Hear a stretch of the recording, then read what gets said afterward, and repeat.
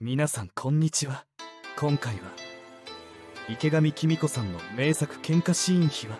DV 離婚。娘激太り神田正輝さんとの関係現在について調査しました。生年月日。1959年4月16日。出身地。京都府京都市本名臼井紀美子身長 157cm 血液型 O 型出身校堀越高等学校職業女優主演。助演にかかわらず素晴らしい演技で人々を魅了する池上紀美子さん。デビューから40年以上が経った今も現役の女優として活躍されています。池上紀美子さんの祖父は人間国宝に認定された祖父八代目坂東光五郎さん。演技力と人々を引きつける力は祖父譲りなのかもしれません。祖父が歌舞伎役者と聞くと池上紀美子さんも梨園の世界で生まれ育ったと思う人も多いでしょう。ですが八代目坂東光五郎さんは母方の祖父。そのため池上紀美子さんが歌舞伎の舞台に立ったことはありません。ただ池上紀美子さんが梨園と無関係かというとそのようなこともありません。池上紀美子さんがスカウトされるきっかけとなったのはいとこである10代目坂東光五郎さん。10代目坂東光五郎さんが出演するドラマ撮影の見学に訪れた時にスカウトされたことが女優になるきっかけでした。こうして女優としてのキャリアがスタートした池上紀美子さん。1974年に幻のペンフレンドでデビューすると同年のドラマ「純愛参加愛と誠」で一躍脚光を浴びる存在にその後も数多くのドラマや映画舞台のほかバラエティ番組でも大活躍国民的女優として誰もが知る女優の一人となりました。そんな池上紀美子さんには弟が一人います。人間国宝の孫なので歌舞伎役者として活動していても不思議ではありませんよね。ですが池上紀美子さんの弟は歌舞伎の世界はおろか芸能界にも進んでいない一般人。そのため弟に関する情報は全く見つからずもし池上紀美子さんの弟が歌舞伎役者になっていたら注目を集める役者の一人になっていたはず。そう考えると何とも惜しいことをしたと思えてしまいます。池上紀美子さんの母親は人間国宝に認定された八代目坂東光五郎さんの娘。普通の一般人がそんな女性と結婚できるとは思えませんよね。では池上紀美子さんの父は一体どんな人なのでしょうか？池上紀美子さんの父親は商社マンでした。商社マンといえば海外赴任が多いことで知られていますよね。池上紀美子さんの父親も海外赴任をしており池上紀美子さんが生まれたのはニューヨーク。3歳までニューヨークで暮らしていたそうです。世界各国に赴任する商社マンですがニューヨークのような重要拠点に赴任するのはエリート中のエリート。池上紀美子さんの父親は相当なエリートだったことが分かります。後に人間国宝に認定される。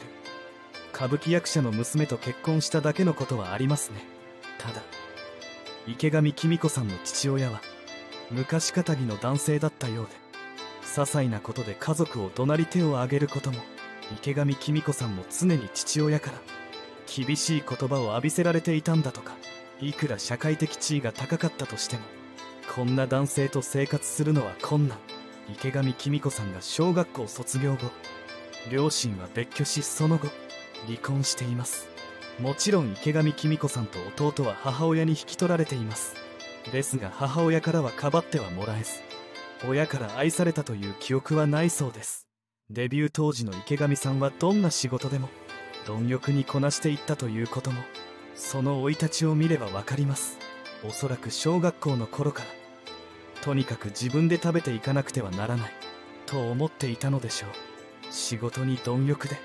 しかも父親から愛された記憶がないのでだからこそ男性からの愛情を求めてしまう。池上さんの恋愛はかなり奔放でした。最たる例が梶原一騎さんの愛人だったということでしょうね。最初から池上さんの魅力に相当惚れ込んでいた梶原一騎さんドラマのヒロインについて独断と偏見で池上紀美子さんを選んだようです。それだけ入れ込んだ梶原一騎さんについて少なからず思っていたのでしょうか。池上紀美子さんもドラマ撮影後関係を続けました。独断と偏見でヒロインを選ぶことができるくらい力のある梶原一騎さんですが芸能事務所の社長としてプロデューサーや映画監督などの芸能関係者と相当深い付き合い方をしていたようです。当時の池上さんがピーク時には13人の男性と交際していたという伝説もあるくらいモテモテだったのでパパとしての梶原一騎さんとの関係を続けた可能性もあるようですね。それでは名作喧嘩シーンについての話題をご紹介していきたいと思います。2023年1月3日放送の TBS 系マツコの知らない世界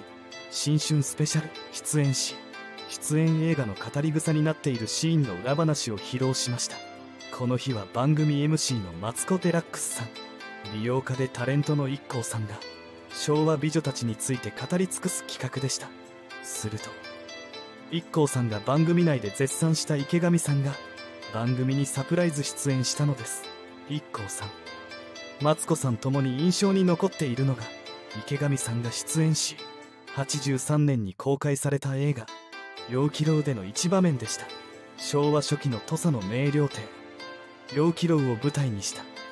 芸妓たちの人間模様を描いた五社英雄監督作品で池上さんは売れっ子芸妓の桃若を桃若に敵対心を見せる。玉子を浅野敦子さんがそれぞれ演じました。2人がトイレでびしょ濡れになりながら激しい取っ組み合いを演じる場面が映画の名シーンとして語り継がれておりマツコさんも IKKO さんも盛り上がりました。当時の映像を見た池上さんはこんな喧嘩したことありますと2人に質問。マツコさんはないですよと食い気味に答え笑いを誘いました。池上さんが浅野さんから髪を引っ張られる場面ではまた本気で引っ張るんですよ。髪の毛痛いんですよね。と振り返りました。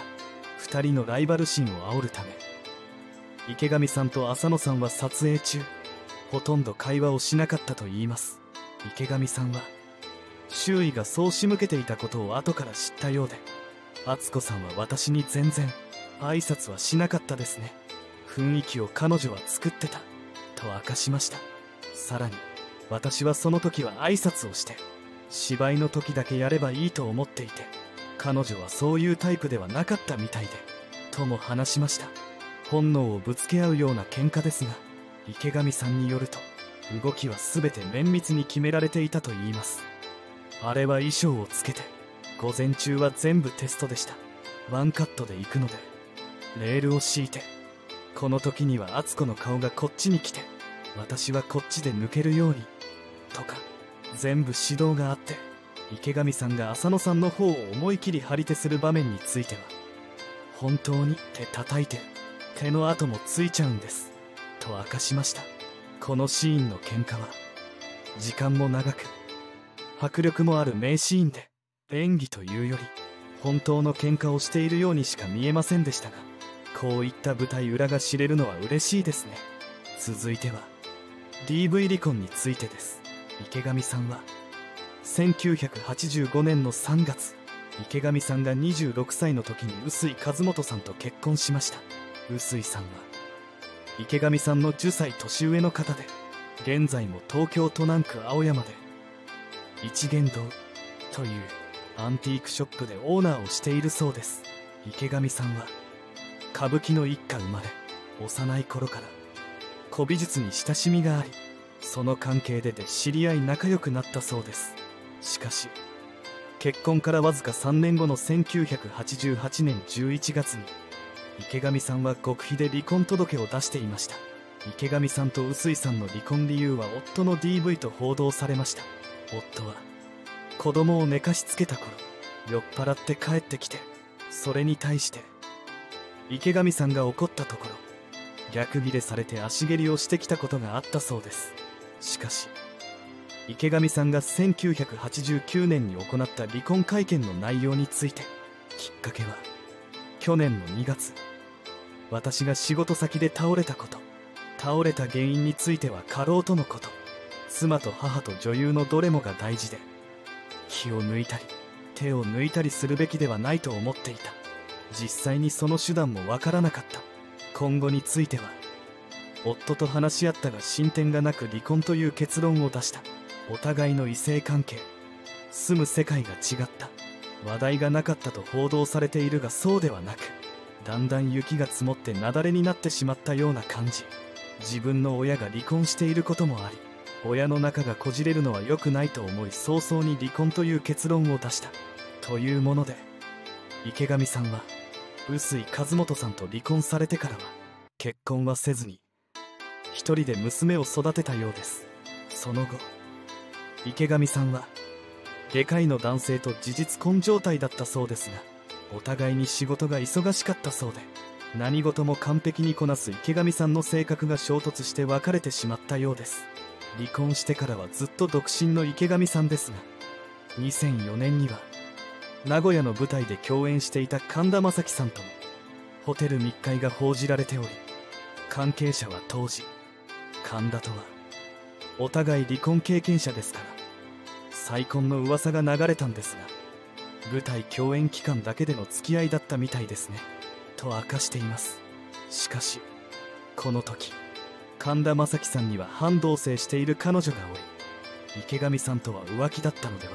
とも言われています。また神田正輝さんとの関係については実は2004年以前から噂があったようである関係者によれば松田聖子さんと神田正輝さんの離婚池上紀美子さんの離婚も2人のダブル不倫が関係しているとの情報もまた噂が大きく発展し池上紀美子さんの娘さんも実は神田正輝さんの子供との話もあります。実際に2人が恋仲だったのか真相は分かりませんが火のないところに煙は立ちませんので何かしらの関係はあったのかもしれませんね。続いて先日した娘さんについてです。池上さんは結婚した年に第一子となる長女を出産しています。1988年生まれなので35歳になりますね。名前は野々すみかさんという噂がありますが真偽は不明で実際はどんな名前なのか分かっていません。そんな娘さんは古美術商を経営していた10歳年上の男性と結婚されているようですでに家を出ているとのことです。池上さんは31歳くらいの頃ハリウッドから映画出演のオファーがあったそうでニューヨークからプロデューサーが3度も訪ねてきてこの役は君しかできないと口説いたそうですがその時娘が小学校の受験を控えており子供を優先してオファーを断ったそうです。また娘さんですは聖母学院幼稚園。聖母学園院小学校を経て聖母学院中学校高等学校に進学します。そして高校1年生の時に宝塚音楽学校に受験し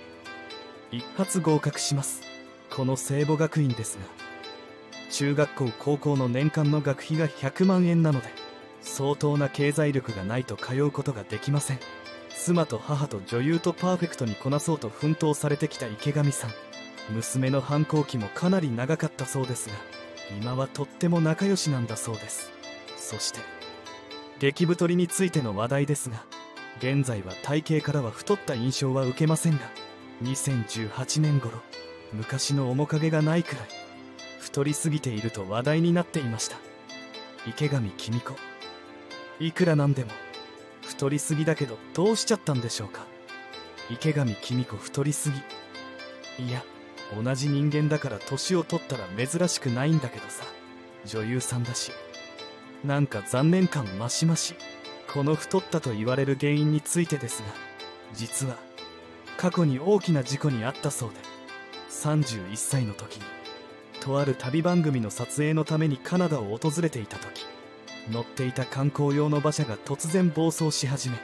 しばらくした後に自動車と衝突しました。結構な衝撃だったそうで馬車に乗っていた池上紀美子さんは馬車から投げ出されてしまい石畳に体を激しく打ちつけられてしまいました。頭を打ったり外見上大怪我をした様子はなかったのですが念のためということでカナダの病院で検査を受け診断の結果は打撲だけで異常なしということでした。ですがカナダでの診断により打撲というのは全くの嘘でした。カナダでの事故から1年後のある日突如首に痛みを感じ始めたのです。診断の結果は頸椎損傷で医師からは4ヶ月の入院治療を告げられました。しかし池上紀美子さんは当時演じていた役を降板するわけにはいかないということで医師からの入院の指示を断りました。仕事を最優先し入院を拒んだ池上紀美子さんでしたが体は敏感でした。ある日突然体全体が異常にむくんでいることに気づきます。医師によると頸椎を損傷したことによって脳と脊髄の間を流れる脳脊髄液の流れが乱れているということでした。脳脊髄液の流れが乱れたことで自律神経にも乱れが発生してしまい全身の血行が悪くなり異常なむくみが生じてしまいました。カナダでの処置が十分ではなかったためこの時の事故の後遺症が残ってしまう結果となってしまいました。また中年になるにつれて増えた女性ホルモンの影響で激太りしてしまったそうです。もちろん女優ということもあって太りすぎている自分のままでいることには満足していません。痩せるために週に1回9時間のマッサージを受けたり毎日 3km のウォーキングをしたり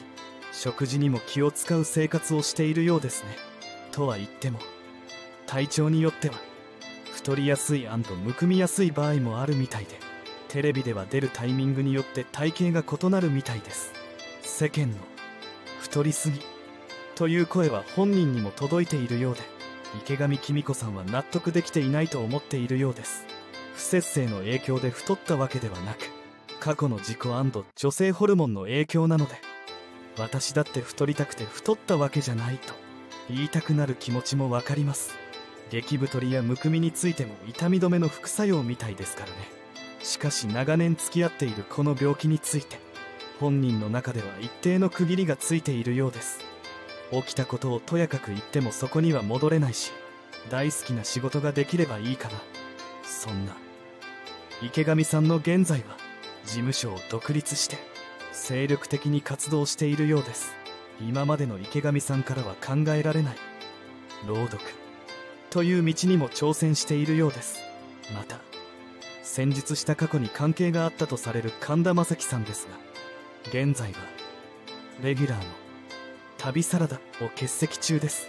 番組を欠席した初回には検査入院という報告でしたが現在1ヶ月以上が経過しています。そんな神田正輝さんの入院先に池上紀美子さんの姿があったとの情報ももしかしたら2人だけの秘密のやり取りがあったのかもしれませんね。最後までご視聴ありがとうございました。コメントを残してくれると嬉しいです。チャンネル登録高評価もぜひお願いします。それではまた。